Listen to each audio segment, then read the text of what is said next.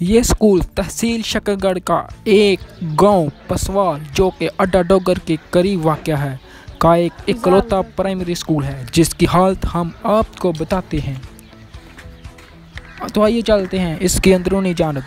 جہاں پر طلبہ اپنا فیوچر بناتے تھے، وہاں پر اب جانور اپنی لائف گزار رہے ہیں۔ ہاں گزارے بھی کیوں نہ؟ جب پوچھنے والا کوئی نہ ہو تو ایسے ہی چلتا ہے۔ محکمہ ایجوکیشن کی نااہلی کی وجہ سے یہ اسکول قریباً دو سال سے بند پڑا ہے۔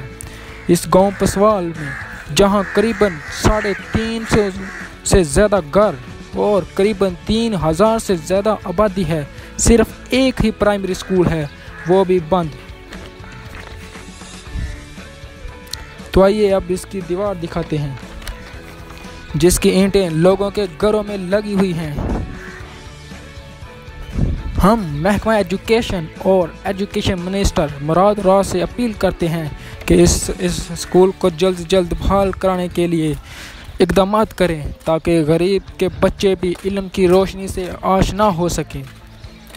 ہماری آواز کو بلند کرنے کے لیے زیادہ سے زیادہ شیئر کریں تاکہ غریب کا بچہ بھی پڑھ لکھ سکے۔ شکریہ۔